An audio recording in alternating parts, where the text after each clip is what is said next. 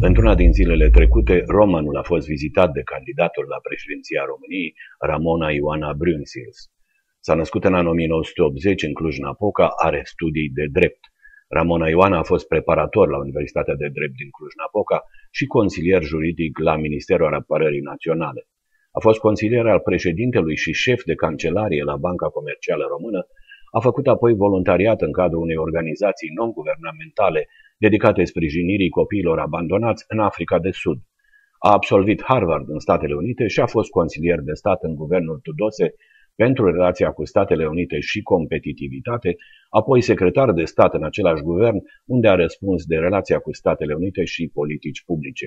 Ramona Ioana Brunsils a fost consilier și în cabinetul Vioricăi Dan Dăncilă, pentru mediul de afaceri, funcție la care a renunțat înainte de alegerile europarlamentare. Doar cu gânduri bune, cu gânduri pe care le adresez tuturor celor cărora aș dori să le cuceresc încrederea, pentru că România se află într-un moment de cotitură în care chiar trebuie să ne dăm seama că avem de schimbat ceva, iar schimbarea vine din noi și de la noi.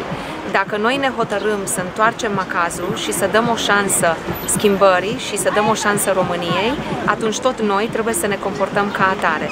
Iar eu nu pot decât să îi rog pe, pe românii de peste tot, din România și nu numai, ci și din, din afara României, de data aceasta, în noiembrie, să voteze în primul și în primul rând cu sufletul.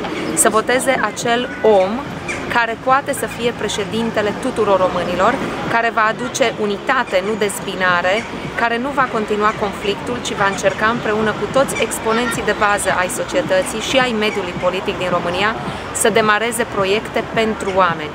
Pentru că trebuie clar ca oamenii să înceapă să simtă că sunt reprezentați cu adevărat, că sunt apărați împotriva abuzurilor statului și că au o șansă pentru un viitor mai bun, pentru ei și pentru copiii lor.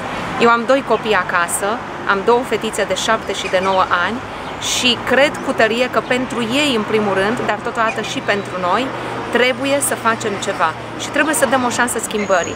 Nu putem să așteptăm să ne fie mai bine alegând aceiași oameni pe care i-am ales înainte, pentru că e clar, vom obține aceleași rezultate pe care le-am obținut și până acum. Adică aproape nimic pentru noi. Ramona Ioana Brânsils este primul candidat femeie înscris în cursa pentru alegerile prezidențiale din acest an. Are 39 de ani, provine dintr-o familie obișnuită, a studiat la Harvard și a trăit pe trei continente.